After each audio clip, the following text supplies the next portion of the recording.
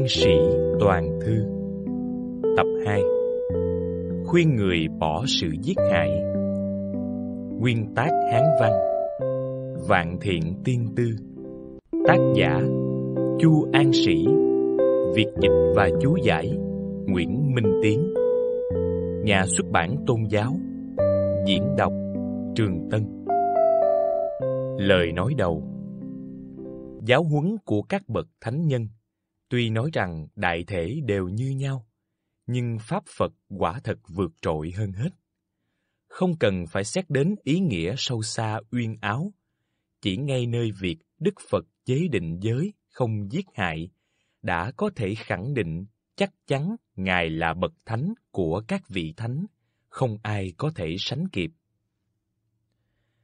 Đã là con người thì dù sáng suốt hay ngu muội, ai ai cũng xem việc bị giết hại là nỗi khổ lớn nhất, mà được duy trì sự sống là ân đức lớn nhất. Cho nên, luận về tội ác nặng nhẹ thì không gì hơn tội giết hại, mà phước báo lớn nhất thì không gì hơn ngăn cản việc giết hại. Hết thảy loài vật đều tham sống sợ chết, tìm chỗ an ổn, tránh chỗ nguy hại, so với tâm lý con người không khác. Thế mà những từ ngữ nói đến sự giết hại loài vật để phục vụ việc ăn uống lại thấy lẫn lộn dễ đầy trong kinh thư, sách truyện của nho gia, khiến người ta xem mãi cũng thành quen, rồi cho là việc đương nhiên phải vậy.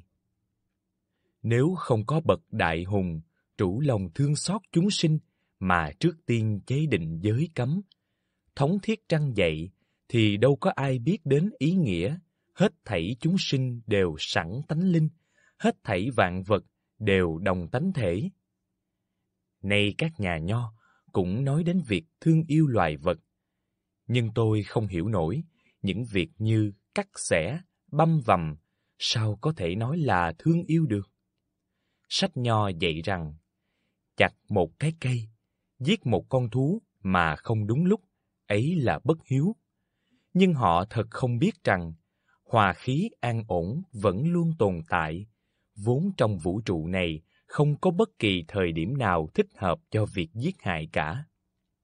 Mỗi khi có nạn hạn hán, lục lội, triều đình cũng biết cấm tuyệt sự giết mổ để mong cảm động lòng trời.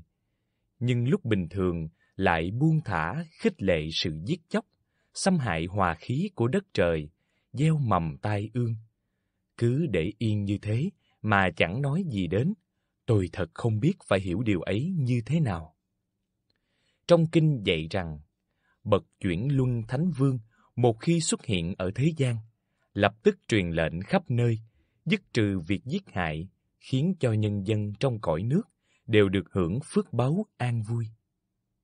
Tuổi thọ lâu dài, thậm chí không bao giờ nghe đến những từ ngữ như chiến tranh, đói khổ. Chúng ta không may sinh vào thời uế trượt, đạo đức thế gian ngày càng suy thoái. Các bậc tiên thánh nhìn thấy khuynh hướng giết hại sinh linh đã quá nặng nề, thật khó thay đổi, nên vạn bất đắc dĩ mới dạy rằng không nên giết hại quá nhiều.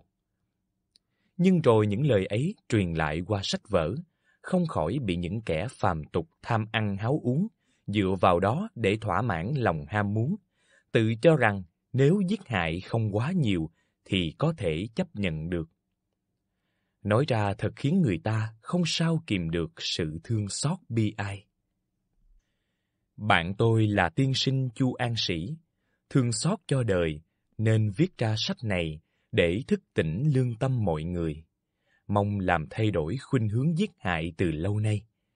Tiên sinh biên soạn sách này, sưu tầm chọn lọc, giải thích rõ ràng, tâm thành trải bày trọn vẹn, công phu khó nhọc muôn phần, lại nêu những điều thấy biết xưa nay ở khắp chốn gần xa, dùng để phá bỏ những thuyết cổ hủ cố chấp của nho gia, chỉ mong người đời xem qua liền tức thời tỉnh giấc mộng dài, căn bệnh trầm kha lập tức được trị dứt.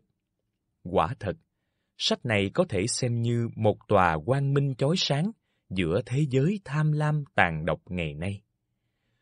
Người cùng chí hướng nên khuyến khích nhau khắc bản sách này, in ấn lưu truyền. Luôn nhớ nghĩ đến việc không giết hại là giới cấm đầu tiên trong các giới, mà lòng nhân từ là căn bản của mọi điều lành. Đó là những điều các bậc thánh hiền đã thương xót dạy bảo rõ ràng, nên lấy tên sách là Vạn Thiện Tiên Tư, có nghĩa là nền tảng trước tiên của vạn điều lành. Nên biết rằng, sách này hiện diện ở nơi nào, ắt sẽ được vô số các vị hiền thánh dùng chánh định từ bi mà hộ trì.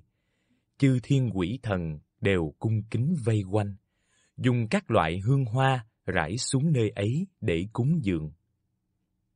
Người đồng hương, học nhân ở Ngũ Vân, Trương Lập Liêm, Hiệu Băng Am, Kính Đề.